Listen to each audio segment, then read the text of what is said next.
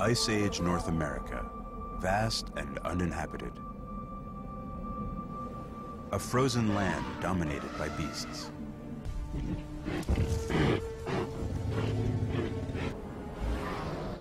Throughout the Earth's history, thousands of ice ages have frozen the planet. The most recent one was near its peak 17,000 years ago.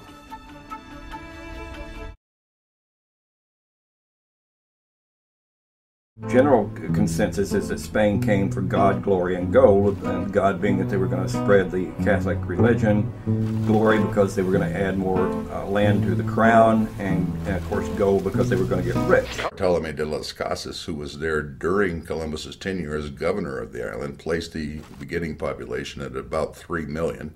20th century historical demographic studies had placed it as high as 8.5 million, whatever the reality actually was. It had been reduced to about a 100,000 by the time he left, and by 1550, it was gone.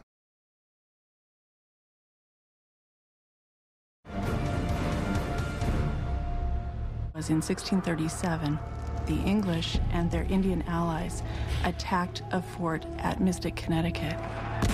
The massacre at Mystic Fort did change relationships between the colonists and the Indians forever. It set the form for the taking of Indian land. And the process is repeated across the country. The massacre at Mystic was the first time English people engaged in the wholesale slaughter of Native Americans, but it certainly would not be the last. May 26, 1637 was a day that changed everything in the land that would become America.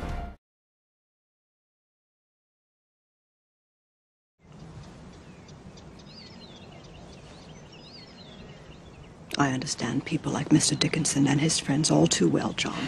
Send a woman to the Congress. She might knock some sense into them. This is not a question of men and women, Abigail. It is a matter of politics. Politics. Politics? Mm.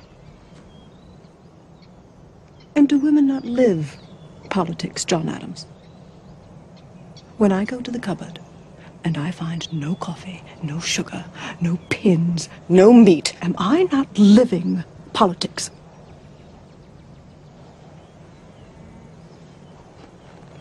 This war touches people that your Congress treats with the same contempt King George reserves for the people of Boston. I mean women, yes, and slaves too, for that matter. Though I'm sure you, you wish I would not mention that subject, as it might upset your southern friends. You're harsh, madam. I am cold.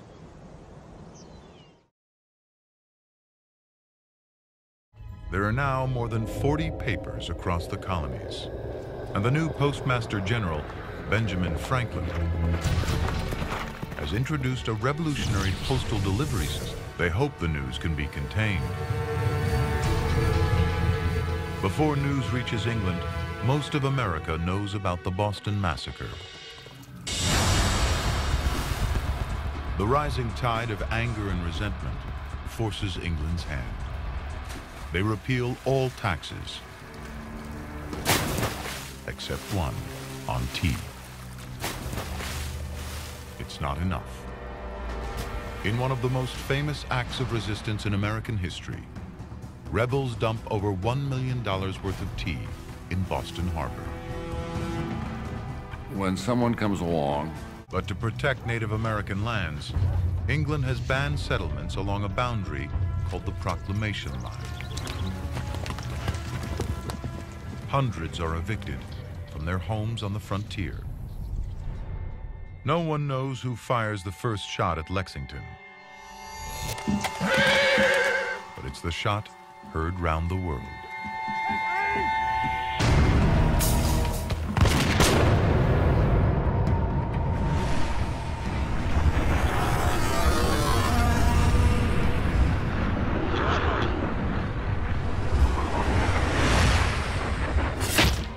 We hold these truths to be self-evident. That all men are created equal.